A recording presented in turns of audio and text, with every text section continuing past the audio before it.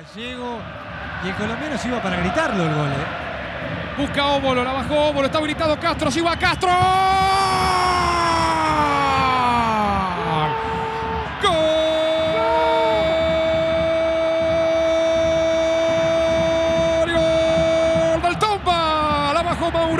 A lo Palermo no. Le reventó el arco Alexis Nicolás Castro a los 12 minutos del segundo tiempo. Decepción en Independiente. Tuvo todo a su merced el travesaño, el palo, dijeron que no. Y ahora el Tomba 1, Independiente 0. Alexis Nicolás Castro es el autor del gol. 12 minutos después que ya le pasó Independiente otra vez.